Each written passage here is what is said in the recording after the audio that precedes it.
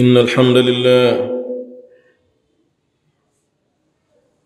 نحمده ونستعينه ونستغفره ونسترشده ونستهديه ونؤمن به ونتوكل عليه ونتوب إليه. ونعوذ بالله تعالى من شرور أنفسنا وسيئات أعمالنا. من يهديه الله فلا مضل له ومن يضلل فلن تجد له وليا مرشدا. وأشهد أن لا إله إلا الله وحده لا شريك له. وأشهد أن محمدا عبده ورسوله. أرسله الله تعالى بالهدى ودين الحق ليظهره على الدين كله ولو كره المشركون. نشهد أنه قد بلغ الرسالة وأدى الأمانة ونصح الأمة. وجاهد في الله حق جهاده حتى أتاه اليقين. أما بعد فإن أصدق الحديث كتاب الله تعالى. وخير الهدي هدي محمد صلى الله عليه وسلم. وشر الأمور محدثاتها وكل محدثة بدعة وكل بدعة ضلالة وكل ضلالة في النار. اللهم إنا نعوذ بك من عذاب النار. أيها الإخوة المؤمنون أوصيكم ونفسي بتقوى الله تعالى. Enyi ndugu waumini, na kuhusieni katika jambo la kumwogopa Mola wetu aliye mtukufu. Wasia huu nikiwa nahitajika kuipa nafsi yangu mwanzo katika jambo hilo. Waalamu, najueni ya kwamba anna al-a'mala bil khawatim, ya kwamba matendo yanahitajika na kuzingatiwa upande wa Mwenyezi Mungu kule mwisho mtu atamalizia vipi. Mara nyingi kwa hakika huonekanika Waislamu wanapoanza katika mambo ya ibada huwa na spidi kubwa, lakini hufikia wakati wakaanguka chini kabisa, wakanyong'onyea wengi katika Waislamu.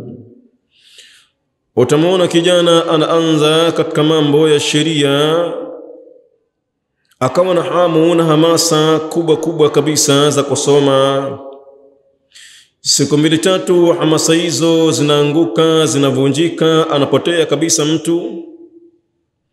Jambo hili la kumwabudia Mwenyezi Mungu linataka endelevu na kila wakati kumomba Mwenyezi Mungu Subhanahu wa Ta'ala husna al-khatima, mwisho ulio mzuri. Katika darasa yetu ya fiqhi tunaanza katika mlango ambao unazungumzia alwakala, uwakili, kumpa mtu jambo aweze kukusimamia, ima bidaf'i mablaghatin, ima baadaye utamlipa chochote mtu huyo, au kuna baadhi ya uwakala mwingine hauhitaji kabisa kabisa mtu kulipwa na jambo hili kwa hakika limetokea tangu waliopita huko, kuanzia mtume mwenyewe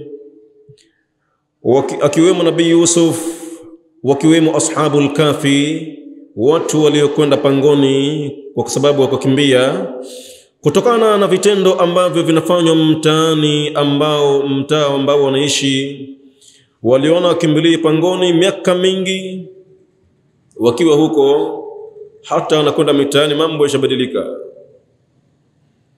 Mmoja katika hao akaambiwa, kwa hichi mlichokuja nacho kwa sasa hivi, yawezekana ikawa kisitumike tena katika fedha ambazo mmekuja nazo, lakini ili kuthibitisha hayo, fabaathu ahadakum biwariqikum hadhihi ila almadina, mpelekeni mmoja wenu akacheki kwa pesa zenu hizi akacheki kama labda pengine atarudi na chakula. na katika upande wa nabii Yusuf baada ya kupita mtihani mzito wa kutihaniwa na Mwenyezi Mungu kuingizwa kwenye kisima, lakini pia kutokana na mtihani wa wanawake akafungwa nabii Yusuf. Baada ya hapo kutoka jela, akaambiwa na mfalme, mimi nataka nikuweka hapa, na akamwambia nabii Yusuf, jaalni ala khazaini al-ardi, mimi niweke kwenye hazina, kwa sababu ninajua kabisa kabisa namna ya kuendesha nchi. Tayib, kwa hivyo jambo hili ni jambo ambalo lipo kabisa kupitia kitabu cha Mwenyezi Mungu mpaka mwenendo wake Mtume sallallahu alayhi wasallam. Yajuzu lijaizi tasarufi, inafaa kabisa kabisa kwa kichwa ambacho kinahamishika kutoka sehemu fulani na kwenda sehemu nyingine kinaweza kubadilishwa mazingira haya kikapelekwa mazingira mengine. Inafaa kabisa an yuwakila ghairahu, mtu kumweka mwenzake, ikiwa kumwajiri au kumtuma tu utumaji wa kawaida.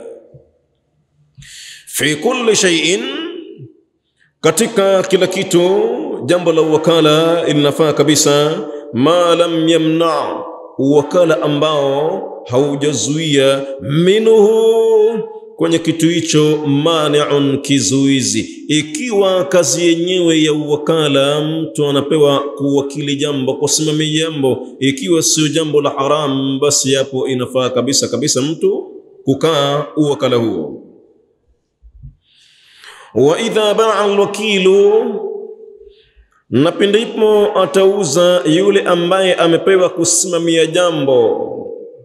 Amepewa bidhaa fulani, ikiwa ni ya gari au ni ya simu au ni ya maembe au ni ya machungwa au ni ya nyumba, amepewa yeye auze, na akabahatika kuuza au kapewa kipande cha ardhi auze biziyadatin, ikafikia wakati akauza mtu huyo, lakini ameuza kwa ziada, marundiko ya mali yametokea pale. Kipande cha ardhi kaambiwa milioni tatu, basi yeye akaja akauza milioni tano au milioni sita.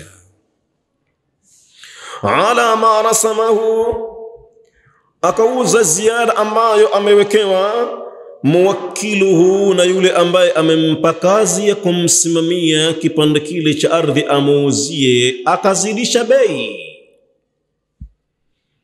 Kanati ziyadatu, hichi ambacho kimezidi, wapi kitakwenda? Kitakwenda kwa mhusika mwenyewe au kitakwenda kwa yule wakil ambaye kapewa kazi, niuzie gari hii, niuzie milioni mbili, lakini yeye akaja akauza milioni tatu.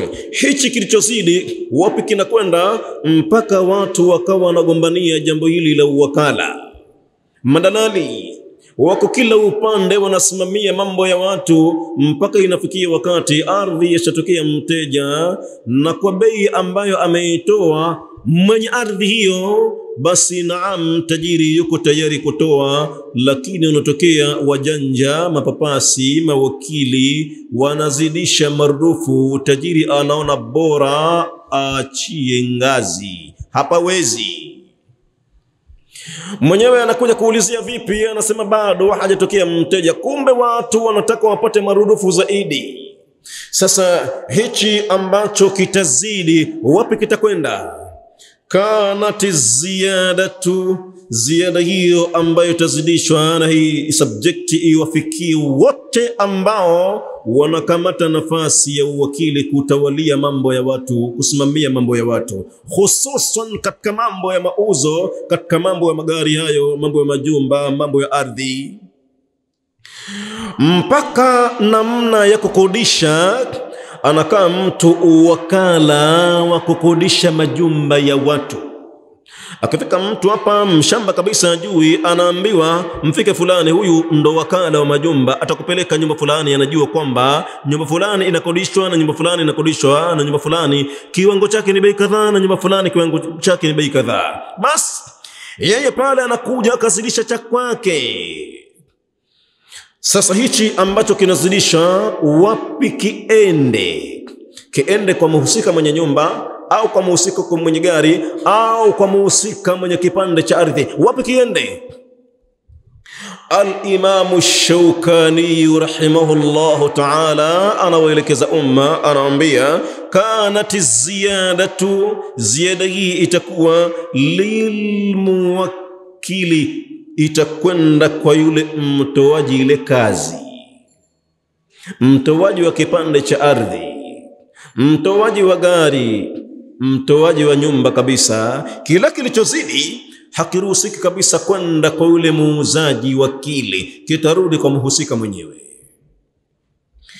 Wapi jambo hilo tunapata uthibitisho wake? Inna rasula sallallahu alayhi wasallam taraka ummatahu ala almahajjati albayda Hakika Mtume Mwenyezi Mungu anaondoka duniani, aliwacha umati wake ukiwa uko katika njia nyeupe pepepe.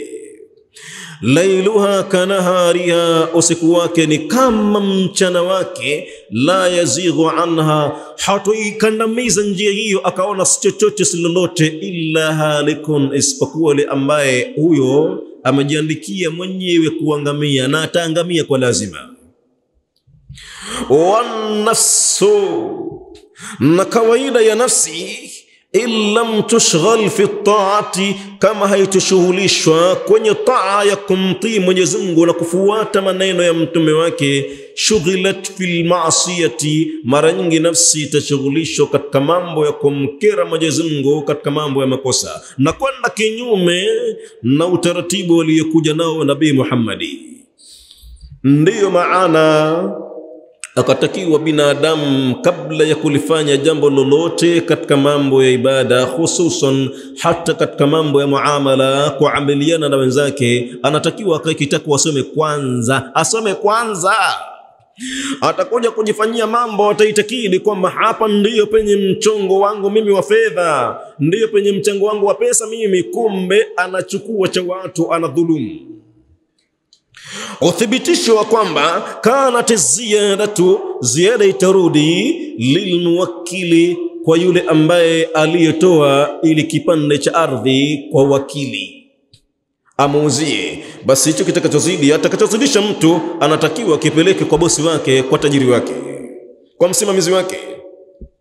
Uthibitisho wa hilo tunaupata katika hadithi ambayo iko katika Sahih Bukhari wa ghairihi min hadithi Urwa, katika hadithi ya Urwa anna nabiya sallallahu alayhi wasallam, ya kwamba mtume yeye atahu dinaran, alimpa kiasi fulani cha fedha za kwao dinar, liyashtaria lahu bihi amnun, ili amnunulie kwa dinar hizo mjumba Mwenyezi Mungu Urwa anunue kwa pesa zilizopewa na mtume Mwenyezi Mungu, shatan, amnunulie mbuzi. fastara lahu bihi, Urwa kazi aliyoifanya akamnunulia mjumba Mwenyezi Mungu bihi, kwa pesa hizo ambazo kapewa dinar shataini, akamnunulia mbuzi wawili fabaa ihdahuma, akamuuza mmoja katika mbuzi wawili hao bidinarin, kwa dinar. Fajaahu, akazileta dinari hizo. Fajaahu bidinarin, akazi akaja sahaba huyo kwa mjumbe Mwenyezi Mungu akiwa amekamata mkononi dinar washatin na amechukua mbuzi kile ambacho amekipata cha ziada, amekuja nacho na yule mbuzi aliyemnunua amekuja naye kwa mjumbe wa Mwenyezi Mungu Subhanahu wa Ta'ala. Fadaa lahu bilbarakati, mjumbe wa Mwenyezi Mungu akamwombea dua katika biashara yoyote atakayoifanya, fi bai'ihi, katika biashara yote ambayo ataifanya sahaba huyo. Fakana, basi katika dua ambayo kwa kukubali kufuata masharti ya mtume na kutokwenda kinyume, hata kama Nabii Muhammad hayuko kule, hajui kabisa anajua Mwenyezi Mungu tu, yuko chema kabisa. Mjumbe Mwenyezi Mungu hajui alichokipata sahaba huyu, lakini kwa kuwa ni mwaminifu, amejua kabisa sheria, akapeleka kile alichouza, na mjumbe Mwenyezi Mungu akamwombea baraka katika biashara yake. Basi katika mambo aliyokuwa nayo sahaba huyu Urwa, fakana akawa sahaba huyu lau lau lau ishtara turaba, hata kama atafanya biashara ya mchanga mchanga basi la rabiha fihi, atapata faida kwenye biashara hiyo, kwa sababu ya ukweli aliyomwonyesha mjumba Mwenyezi Mungu subhanahu wa ta'ala. Basi kanati ziyadatu, ziada inarudi kwa hakika lilmuwakkil, kwa yule ambaye ametoa kipande cha ardhi au ziwe au gari au kukodisha nyumba. Wa idha khalafahu na kama amepewa rundiko la mali mathalan, amnunulie gari akenda kinyume. Ila man ila ma huwa anfa'u, lakini amekwenda kinyume na bosi wake kumtafutia kitu kilichokuwa makini zaidi, quality zaidi, kilichokuwa na manufaa zaidi, bora zaidi, au ila ghairihi, au kamtafutia chengine ambacho lakini kitakuwa kizuri, wa radhiya bihi, mwenyewe mhusika akaridhika nacho akakukubali, saha hiyo itakubalika kwa maamuzi aliyoyafanya yule wakili kumfanyia muwakilihi. Hiyo ndo sheria ya dini, lakini njoo!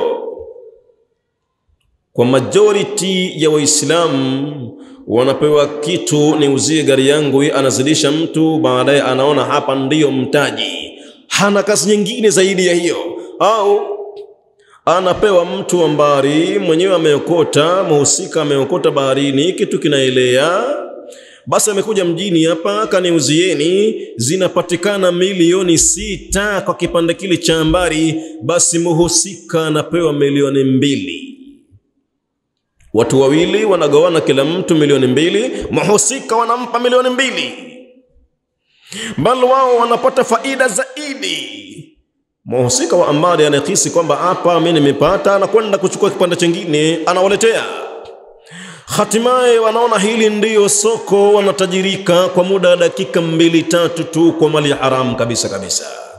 Mara ya tatu anaona ngoja niende mwenyewe kwa tajiri muhusika kabisa, mwenyewe anakwenda kupata zaidi ya zile ambazo kapewa, atapigwa zamani kabisa, wakihisi kwamba kile ni cha kwao, kumbe innama yakuluna fi butunihim nara, wanachokula kwenye matumba yao ni moto kabisa kabisa. Wasayusaluna yauma alqiyamati anha, na wataulizwa na Mwenyezi Mungu siku ya Kiyama kutokana na jambo hilo.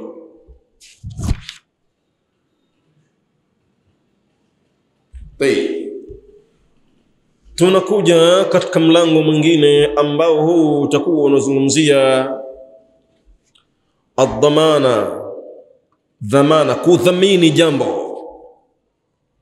Wa huwa na dhamana hii maana yake naqlul mali, ni kuiondoa mali au majukumu ya jambo fulani an dhimmati lmadhmuni, kutokana na dhima na jukumu la yule mwenye kudaiwa, anho ila dhimmati dhamini, linahama linakwenda linakwenda kwa jukumu hili kwa yule ambaye amedhamini kabisa kumpa muhusika wa jambo hilo.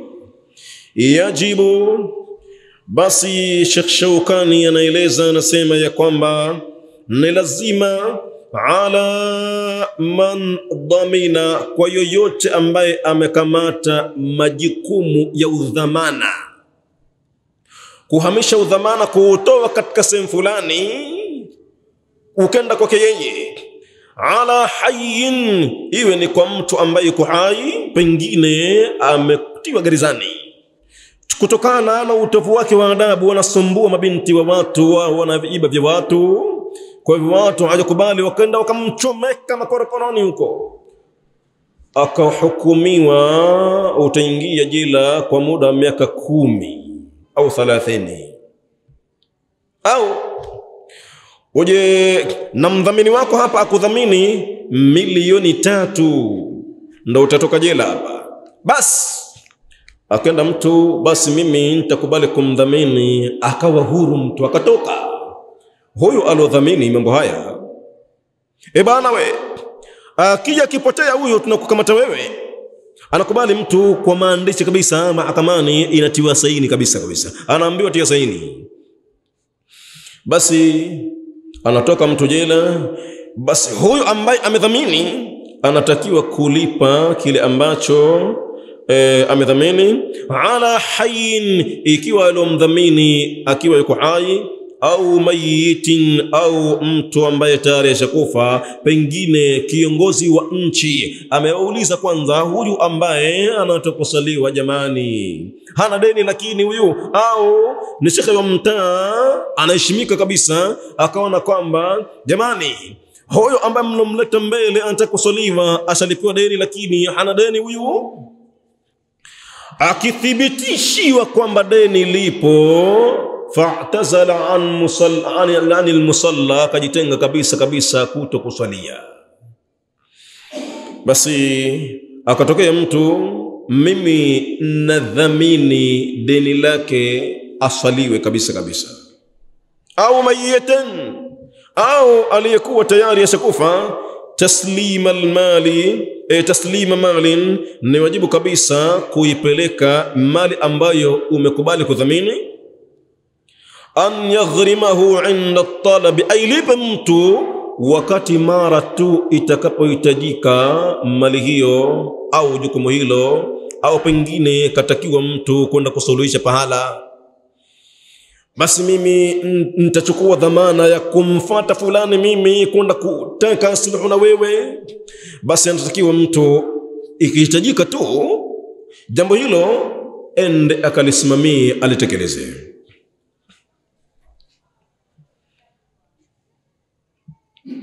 wayarjiu ala lmadhmuni anhu, nalo jukumu litarudi kwa yule ambaye amelikuwa dhamana likauni addaini alaihi kwa sababu deni liko kwake yeye majukumu yote yako kwake yeye. Kwa hivyo hilo litaondoka kwa yule maiti au aliyekuwa hai watu watarudi kwa huyu ambaye alobeba jukumu hilo.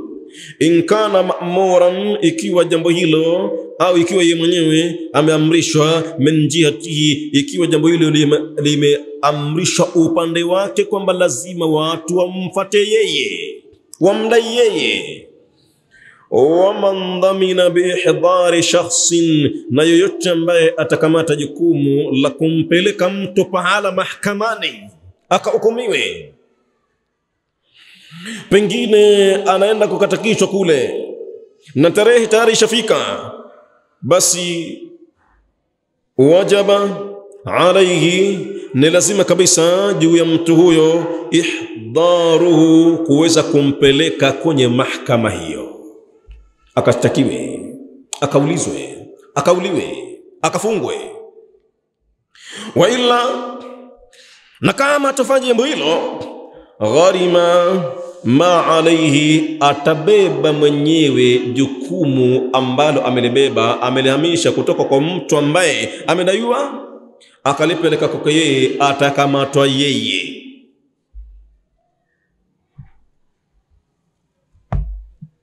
tayib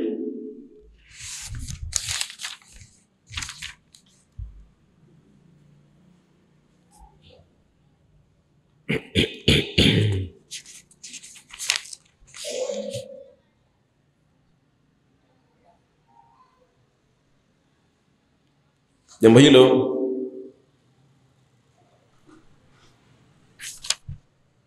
Tunakuja mlango mwingine unazungumzia asulhu jambo la mapatano hususan kwa wale ambao ni waislamu. Iwapo wanapotatizana katika jambo wanatakiwa wapatanishane. Asiondoke mmoja wao duniani ikiwa ana sononeko na mwenziwe. Na ikiwa kuna utata basi Mwenyezi Mungu anakataa kabisa kabisa kupandisha matendo yao juu ikiwa bado hawajakubaliana. Al-Imamu Ash-Shawkani anasema jambo la kupatanisha kati ya Waislamu huwa jaizun baina almuslimin, hilo jambo kwa hakika linafawa kabisa kabisa kati ya Waislamu,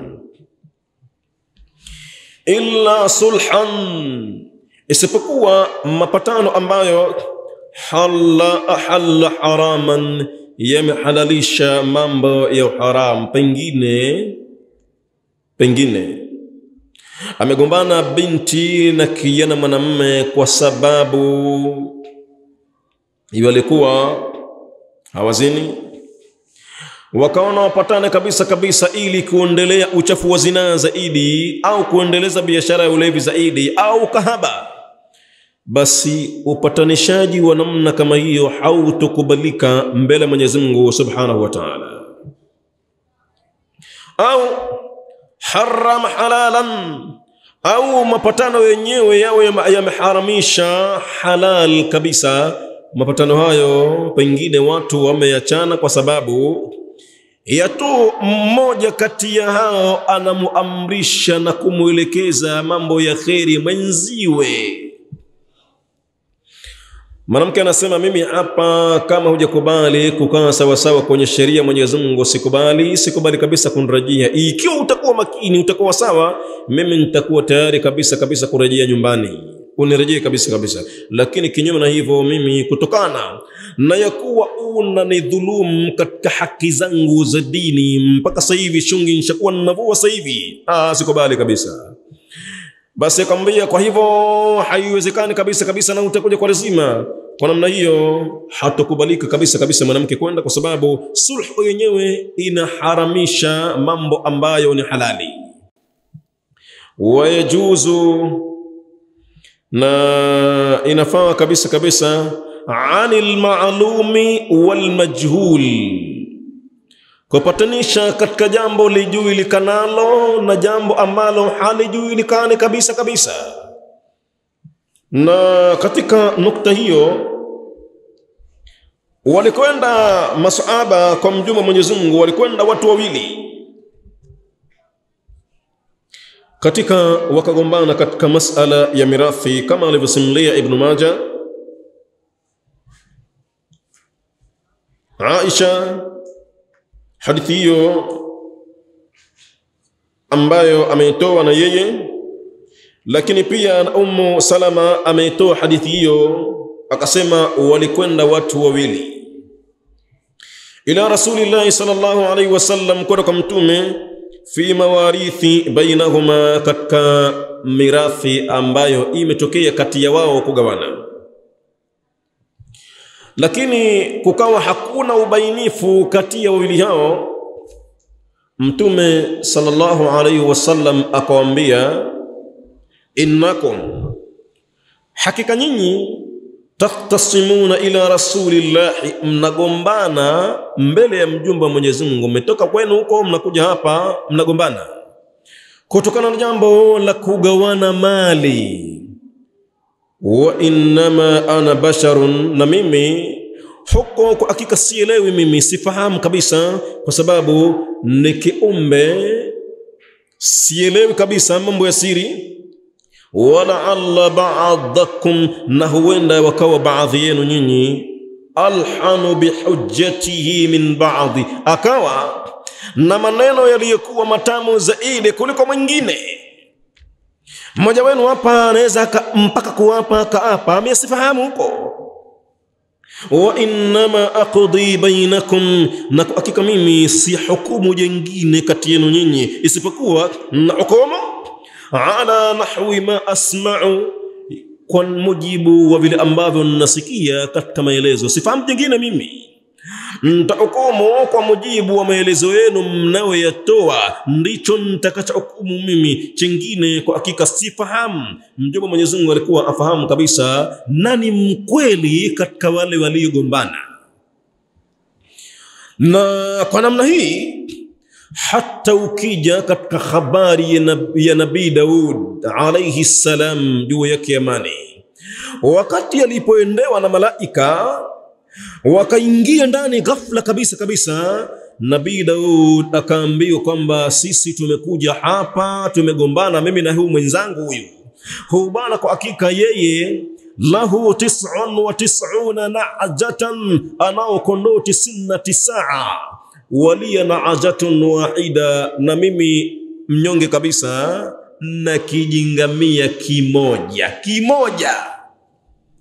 Yeye mia kasoro mmoja ana tisini na tisa ametoka kwao huko amekuja kwangu hapa amenishikilia ananambia akfilnihi akfilniha nipe ngamia wako huyo au kondoo wako tuchanganye na wangu tukufike, tufike pamoja tuendeleze urafiki zaidi waazani fi lkhitabi, mimi ninamwambia sitaki, kila mmoja na cha kwake. Itakuwa kuwaje wewe wa kwako wewe ni wengi zaidi kuliko wangu mimi mmoja? Itakuwaje nishikilie kwamba tuchanganye pamoja? Si huoni kwamba unataka unionee hapa, kundhulumu hapa?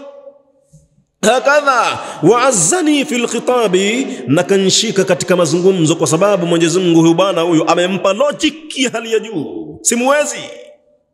Haya, Nabii Daud bila ya kusikiliza upande mwingine wa pili, kesi maelezo, kutokana na logic na maneno matamu yaliyokuwa na hubana, basi Nabii Daud pale pale alinyong'onyea, maneno yakampanda kichwani, akasema ikiwa ni hivyo laqad dhalamaka, huyu bwana amekudhulumu, bisuali najatika ila niajihi, kwa suala la kondoo wako, kwamba kutaka achanganye na wake yeye, mfuge pamoja. Hili jambo kwa hakika amekuonea. wa inna kathiran min alkhulatai na hakika wengi ambao wanachanganya mambo shirika, la yabghi ba'dhum ala ba'din, lazima huoneana baadhi yao kwa baadhi ya wengine. Si mainjinia wa ujenzi, si watu maofisini, si watu makazini, ile mradi kwa hakika si watu ambao wanafanya biashara pamoja, si watu ambao wanafanya upato pamoja. Lazima la yabghi ba'dhum ala ba'din, wanadhulumiana wao kwa wao kesi mtindo mmoja mitaani, wakati mwingine mpaka sasa inafikia wakati kukufuriwa Mwenyezi Mungu Subhanahu wa Ta'ala. Mtu anakwenda kwa mshirikina, anakwenda kwa mpiga ramli, anamfanyia uchawi mwenzake kabisa kabisa, asije kazindukana anamchukulia hivi hivi pesa kini macho. Watu tayari jamani, leo ni tarehe yetu ya kugawa pesa, hazionekaniki kabisa kabisa. Hakadha basi wa inna kathiran min alkhulatai, hakika ya wengi ambao wanachanganya mambo shirika, la yabghi ba'dhum ala ba'din, hudhulumiana wao kwa wao, illa alladhina amanu, isipokuwa wale ambao wameamini, kwa sababu mambo yao yote wanakuwa wanafanya kwa ajili ya kumcha Mwenyezi Mungu na kumwogopa yeye si rahisi kuingia katika makosa, si rahisi kuingia katika dhulma, kwa sababu wanaogopa kabisa kabisa. Adhulmu dhulmatun yauma alqiyama, dhulma itakuwa itakuja kuwa ni visa vikubwa, visa vingi siku ya Kiyama. Mtu anatembea kwenye kiza, idha dam idha dama damara, na inapokaa pahala dhulma lazima itavunja, lazima itavuruga. La tadhlimanna idha ma kunta muqtadiran, mja usije kufikia pahala kwa dhulum utapojihisi kwamba wewe una power una nguvu, una uwezo. Fadhulmu uqubahu yatika binnadami, dhulma mwishowe inakujia majuto. Tanamu ainaka walmadhlumu muntabihu, yanalala macho yako na aliyemdhulumu yuko macho kabisa. Yad'u alaika, na kuwapiza. Wa ainu llahi lam tanam, na macho Mwenyezi Mungu halali abadan. Kwa hivyo illa alladhina amanu wa amilu salihati wa qalilum ma hum, na hawa walioamini wenye kufanya mambo yao wamechanganya mambo yao wanafanya, lakini kwa kumwogopa Mwenyezi Mungu ni wachache mno duniani. wa dhanna Daudu annama fatannahu wale malaika waliokwenda kwa sura ya kibinadamu wakaondoka ghafla moja. Nabii Daud akahakikisha kwamba hapa nimejaribiwa na nisha hukumu sivyo. Nimechukulia maelezo tu upande mmoja, ambaye kanieleza kutokana na lugha aliyokuwa nayo na logic aliyokuwa nayo. Basi fastaghfara rabbahu wa kharra rakian wa anabe, ilibidi pale amuombe Mwenyezi Mungu msamaha na arejee kwa Mwenyezi Mungu kutokana na makosa aliyefanya, na akaporomoka akasujudu kutokana na jambo zito, jambo kubwa, kuhukumu sivyo kabisa. Kwa hivyo Mtume anaambia innakum taktasimuna ila rasulillahi, nyinyi mmetoka makwenu mnakuja kugombana hapa kwa mjumbe Mwenyezi Mungu, na mimi sielewi chingine. Ana basharu, mimi ni kiumbe. Wala alla ba'dukum alhanu bihujjati ba'd fi e, min ba'dihi huenda ikawa mmoja kati yenu nyinyi akawa na mazungumzo sana matamu sana, na pengine asijifanyia ushirikina huko, maneno yake yakubaliki zaidi. wa innama aqdi bainakum ala na kwa hakika mimi na hukumu kati yenu juu ya ala nahwi ma asma'u, kwa mfano wa lile ambalo mimi nasikia, sitahukumu jingine mimi. Faman qadaitu lahu min haqqi akhihi, basi yoyote nitakayeamua katika hukumu yangu, lakini kumbe si ya kwake kumpa yeye, kumbe ni ya mwenzake, ni ndugu yake, shay'an, katika jambo lolote nimehukumu kutokana na uzuri wa mazungumzo aliyokuwa nayo nikampa yeye, hili bila shaka itakuwa ni la kwako.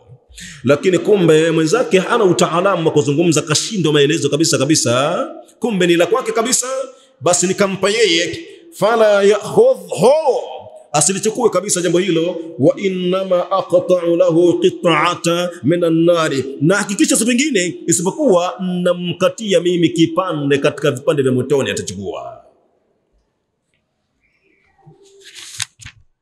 Kwa hivyo wayajuzu anil maalum, inafaa kabisa kabisa kupatanisha katika jambo ulijualo, walmajhul bimaalum, na kujua na lile ambalo hulijui kwa mtu kwa kile ambalo unalijua, wa bimajhul, na kuwa lile ambalo pia hulijui, yatakikana utoe sulhu, utoe solution, watu waweze kupatana walau an inkari, hata kama mwenyewe atakuwa atapinga kabisa kabisa, hilo sida kwake, huyu ni la kwangu mimi hili. Sasa itakiwa wewe upatanishe, hata kama utakuwa hutaki na wewe, lakini hakuna budi, lazima utoe solution, watu waishi kwa salama na amani kabisa kabisa.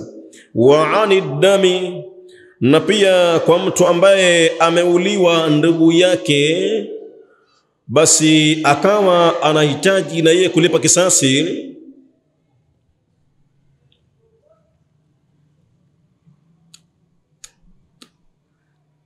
unahitajika kuwapatanisha watu hao wasije kamagana damu. Waani dami, na kama kuna mtu pengine ameuawa au kakatwa kisu, akaona na mimi sikubali, nitafanya jambo ukachukua jukumu la wewe kuwapatanisha kalmali, kama labda pengine upatanishaji wenyewe itabidi huyu, kutokana na damu uliyomwaga, basi yatakiwa umlipe kiasi fulani cha mali umpe, au katika ndugu yao uliomuua huyu, yatakiwa umlipe ngamia wasiopungua arobaini kuendelea ishirini wawe na mimba ishirini wawe, ili mradi ni ngamia ambao kiasi ambacho angalau kutoa majonzi. Ya hawa, ya hawa wa, kaka, kaka, kaka, uh, makaka wa huyu mtu ambaye umemuua. Biaqali min adiyati, ukaona kwamba utawalipa ukamfuata mwenyewe, bana, mimi nimefanya kitu fulani. Kuna mtoto wa watu mimi nilimpiga kisu cha shikio na akamagika damu nyingi sana, na ninajiogopea mimi mbele ya Mwenyezi Mungu, sina cha kwenda kundipa. Kwa hivyo nakuomba wewe ukae, uwe ni msimamizi wangu, niko tayari mimi kulipa fidia ya kile kitendo nilichokifanya, uwafati wahusika kalmal, kama kutoa mali biaqali iwe ni chache kabisa kabisa mali hiyo minadiyati katika fidia au akthar au hata kama mimi watakuwa tayari kuwapa kipande cha ardhi basi mimi nitakuwa tayari lakini siko tayari kwenda kushikwa mbele ya mwenyezi mungu. Kwa nini ukaimwaga damu ya fulani?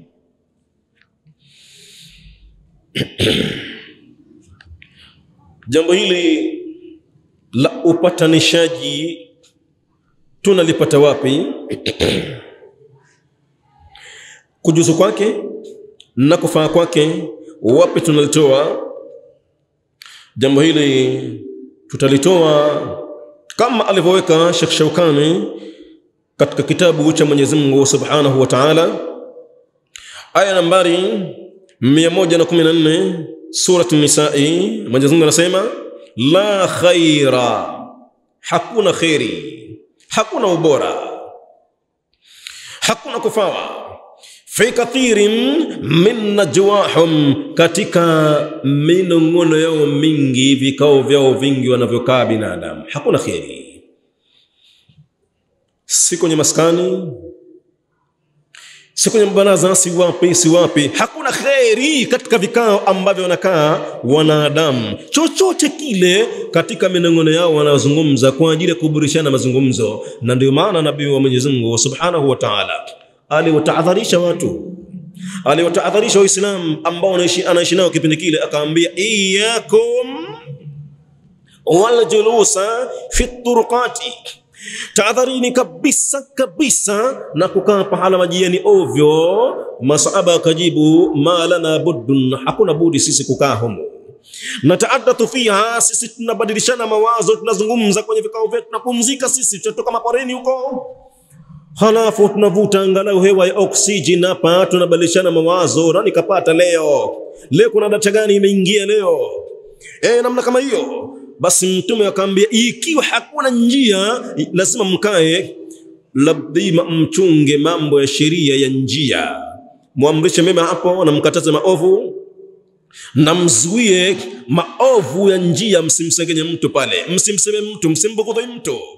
Isiwe tena macho yanaangalia huku na huku kuangalia wanawake muzibe kabisa kabisa macho yenu msitazame sehemu ambayo ni haramu. Kama mtaweza hivyo basi nawapa nafasi hiyo ya kuweza kukaa. Lakini kama hamwezi hakuna kheri katika vikao hivyo. Na mwenyezi mungu amesema la khaira fi kathirin min najwahum hakuna kheri katika vikao vyao illa man amara bisadaqatin isipokuwa labda mtu ambaye yuko pale anawaamrisha watu watoe sadaka kwa ajili ya nafsi zao baadaye وما تقدموا لانفسكم من خير تجدوه عند الله. نما يزمر سيما كتك سورة المزمر نا چوچوت انتكتو كتنگوليزا مبلا من يزمو خيري تجدوه عند الله. هو خيرا وعظم أجرا. انتكي كتن مبلا من يزمو نبورا زائدي نما لپو يكي هيا سميكي مقوبة زائدي كوليكو أتا وليچو كتوا. أو معروفين au kutende, kut, ku, kufanya wema anaamrisha mtu kufanya watu kufanya umema au islahin baina nnasi hapa ndiyo penye ushahidi au kupatanisha kati ya watu. Maskini. Maskini yaweza wakatoka watu wakaonekanika kwamba hawa ni watu wazuri katika mambo ya suna wamekamatana vizuri wakaenda pahala kwa ajili ya kupatanisha wao kwa wao.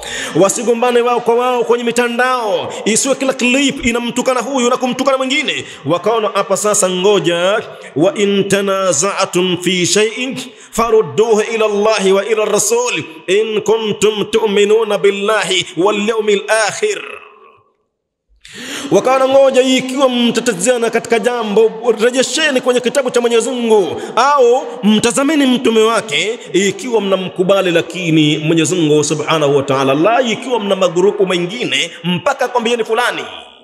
Msende kwa fulani huko basi kama ni hivyo basi mtakuwa mnaabudu mwingine lakini kama mmekwenda kwa ajili ya Mwenyezi Mungu basi hakuna budi mkae pahala mfikie wakati mpatanishane kabisa. Au islahu baina nasi basi linatoka grupu la watu wanakwenda kwa fulani na fulani, tunakwenda kwa ajili ya sulhu, kupatanishana, kwa sababu sisi sote tuko katika njia moja, sisi sote ni wana sunna kabisa. Basi wakipatikana habari fulani na fulani wamemfuata fulani. Wamempata fulani kwa ajili ya kupatanisha, kwa ajili ya sulhu, wakaona kwamba na wao watakuja kusema kwenye mitandao, wanakwenda kuomba msamaha kwa hawa ambao watakuja kuwasema kabisa kabisa, hatutofanya jambo hili tena kumfata mwenzetu yule kwa ajili ya kutaka tukae pahala pamoja, tuendeleze Uislamu pamoja. Ni tatizo ikiwa wamekwenda kwa ajili ya Mwenyezi Mungu, limadha yakhafuna laumata laimin, kwa nini nafikia wakati wanaogopa lawama za yule ambaye atasema kwenye mitandao na kurusha clip? Kwa nini wanaogopa lawama za mwenye kulaumu? Ukiwa unafanya jambo lolote la Mwenyezi Mungu, la takhaf laumata laimin, huogopi kabisa kabisa lawama za yoyote mwenye kulaumu, kwa sababu uko katika njia ya haki. Labda uwe unatafuta mengine, ikhlasi yako sio nzuri kabisa kabisa. Ikhlasi yako umeyapachika kwa baadhi ya mashekhe mpaka wa kukontrol wao katika mambo ya sheria yako katika mambo ya sheria ya Mwenyezi Mungu, ndo wakikusapoti basi unakwenda, lakini kama atakusema hutekelezi jambo la sheria, ikiwa ni kama hili la kupatanisha kati yao kwa wao, ni makosa kabisa. Hapa tachimbuka mambo mengine ya riaa, kule mmekwenda si kwa ajili ya Mwenyezi Mungu. Ina maana wewe unaadhirisha viumbe kuliko hata Allahu rafiu samai bila amadin. Kwa hivyo na kwa yule ambaye ameua nafsi ya mtu hapa duniani, nafsi hii inaachiwa tu, Mwenyezi Mungu anaiachia tu. Mtume sallallahu alayhi wasallam amesema, man kutila mutaammidan, yoyote ambaye atauliwa hapa duniani kwa maksudi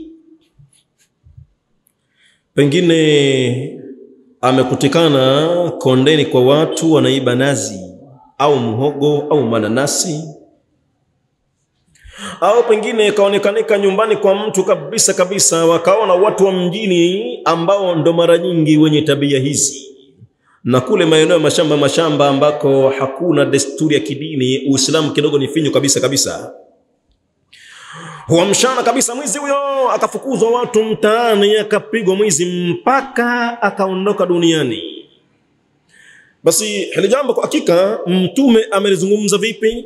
Anasema, man kutila mutaamidan yule ambaye atauliwa hali ya kuwa maksudi kabisa, watu shangwe wamempiga mpaka akaondoka duniani barabarani dafa ilaihi auliyau lmaktul, watakwenda kabisa kabisa kwa mtu huyo ambaye ameuliwa, wale mawalii wa yule alouliwa. Fa inshau, wakimpata yoyote, ikiwa ni bwana wa nyumba ambaye amemua kijana huyo, watamfata kabisa. Fa inshau iwapo watataka na watamkutia, ikiwa kipanda wenyewe mawalii wa maiti, qatalu, watamuua kabisa kabisa. Wa inshau, na ikiwa ataona ah, nafsi zetu hazikubali, bora tusimue, akhadhu dia, watachukua fidia, wa hiya thalathuna hiqa, nao watachukua ngamia thalathini wa thalathuna jiz'a, na ngamia thalathini wengine jid'a, wenye umri fulani. Wa arbauna khalfa, na ngamia wengine arobaini wawe ni khilfa kabisa kabisa. Hivyo ndivyo, hayo ni fidia ya mtu ambaye kauawa, alipewa ngamia namna kama hiyo. Arobaini katika hao wawe lazima wana mimba ngamia hao Halafu itokee mjini auliwe mtu kijana kabisa, kutwe barabarani, kachoma kisu kabisa alfajiri, watu wanakwenda msikitini, amekutwa binadamu amekaa amelala kabisa, kafa. aliyeliwa hajulikani kabisa, au pengine atolewe nyumbani kabisa, pengine alikuwa ashalewa, ameenda kujisaidia tu pahala kwenye kiamaza cha mtu, akajulikana, akaonekanika, akashambuliwa, akatuhumiwa kwamba ni akachezea kichapo mpaka ikafikia wakati akauawa. Hili jambo kwa hakika sio jambo la maskhara, kuua sio kitu cha mchezo. Tayib, mlango mwingine kitabu Alhawala. Mlango huu utakuwa unazungumzia kulihamisha deni kwako ukampelekea fulani. Man uhila, yule ambaye atahamishiwa deni anamdai mtu akaambiwa kwa, akaambiwa mimi kwa sasa kwa sasa hivi najua unanidai lakini kwa sasa hivi sina isipokuwa nenda kwa fulani anacho kitu changu anayo mali yangu mambie nimekwambia mimi om, akupe kiasi fulani mfate yule. Ala maliin akapelekwa mtu kwa mtu ambaye kidogo anao uwezo tajiri fedha anazo